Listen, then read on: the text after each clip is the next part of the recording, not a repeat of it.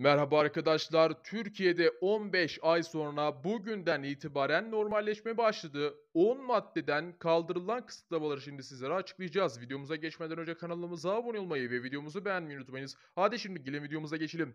1 Temmuz yani bugün itibariyle kaldırılan yasaklara hep beraber bakalım. Bugünden itibaren sokağa çıkma kısıtlaması tamamen son buldu. Yani artık gece ve sabahları aynı şekilde hafta sonları da herhangi bir kısıtlama yok.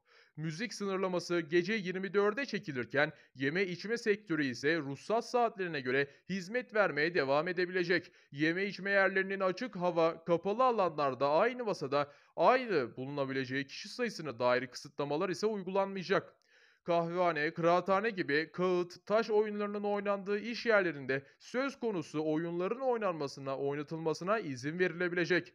Konser, festival, gençlik kampı gibi etkinlikler kişi başına askeri açık alanlarda e, 4 metrekare kapalı alanlarda 6 metrekare yer bırakılacak ve düzenlenebilecek etkinliklere salgın yönetimi ve çalışma rehberinde belirtilen kural ve esaslar ile temizlik, maske mesafe ve prensiplerine uyulmak kaydıyla izin verilecek. Daha önce koronavirüs tedbirleri nedeniyle faaliyetlerine ara verilen sinema salonları, hamamlar, sauna ve masaj salonları ile eğlence mekanları gibi iş yerleri de açılacak. Şehir içi veya şehirler arası toplu taşıma araçlarında yolcu ve koltuk kapasitesi sınırlandırılması son verildi. 65 yaş ve üzeri vatandaşlar ile 18 yaş altı gençler ve çocuklar da şehir içi toplu taşıma araçlarının saat sınırlaması olmaksızın kullanabilecek.